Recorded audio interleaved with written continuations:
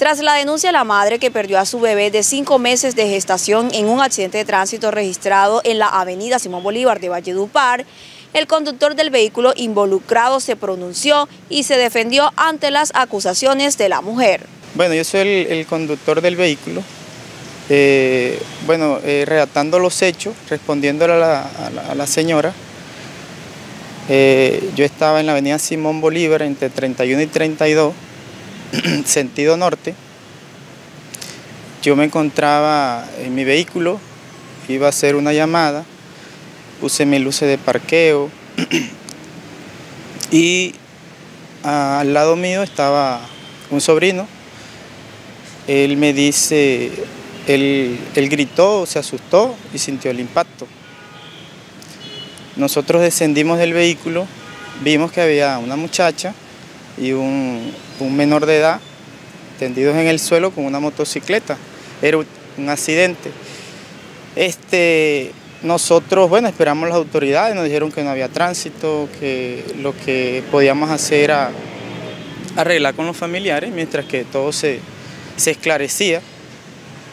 Eh, llegó el esposo, yo le dije, bueno, vamos eh, a un centro de conciliación, nos detuvieron los carros hasta que no arregláramos, porque según la ley de ahorita mismo, la nueva, eh, se tienen que arreglar los dos afectados.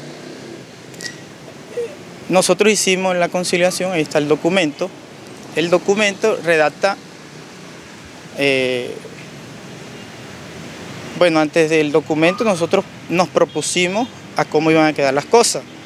Al momento que yo descendí el vehículo, yo vi unos alimentos, unos deditos, unas papas, unas empanadas, unas canastas grandes, unas poncheras, y a mí me dio pesar. En ese momento yo actué humanamente, más no interesado. Entonces, yo le dije al Señor, en el momento, obviamente, yo estaba asustado. Un accidente no, no se accidenta uno todos los días, ni uno es un experto. Yo le dije, bueno, este, amigo, mire, a mí me da mucho pesar, eh, lo que está pasando ahorita mismo, yo, yo le puedo pagar los daños de la moto y los del lo de los alimentos y, listo, vamos al centro de conciliación y eso queda firmado. El abogado me dijo, usted tuvo la culpa. Y le dije, no, yo no tuve la culpa, pero yo me hago responsable porque me da pesar. De pronto una familia humilde que se levanta como todos a trabajar de temprano, a recibir su día a día. Y fui humano. Eh, en ese momento firmamos el papel el papel consta y dice de que yo no soy responsable y que soy el que está pagando, ¿ya? Porque yo quiero, más no que soy responsable del accidente. Bueno, eh, de ahí me comunicaba con el esposo de ella, que cómo estaba el bebé, que cómo estaba ella, que cómo estaba el niño. Eh, me dice que no, que estaba estable, bueno, a las seis horas, a la, por ahí como a las seis me llamaron y que estaba mal el bebé. El bebé tuvo, bueno, la muchacha tuvo la pérdida. Yo le dije al esposo de ella, que era con el que yo me estaba comunicando en ese momento, que qué pasaba. Cuando eh, ellos me, el abogado, obviamente, cuando yo hablé con mi abogado, él me dijo, usted no debió hacer eso porque usted no tuvo la culpa. Sí, yo lo entiendo, usted fue humano, más no interesado. Pero ellos piensan de pronto que usted tuvo la culpa y ellos están en un dolor, y obviamente necesitan un culpable, ellos necesitan salir de su dolor, necesitan salir eh, económicamente de lo que están, necesitan solucionar. Entonces usted no debió hacer eso. Eh, bueno, listo, no se, no se diga más, hice lo que hice. Luego de eso eh, me llamó el esposo, yo le comenté, yo le dije, este amigo, mire, hace el documento y ahí dice todo lo que pasó. Yo ya yo le pagué la moto, le pagué sus insumos de comida, entonces, si usted quiere, se puede acercar a cualquier entidad pública, a cualquier entidad, no sé cómo se llame, que, aclaren los hechos, porque ni usted ni yo somos tránsito o somos un juez para decir de pronto quién tuvo la culpa. ¿Ya?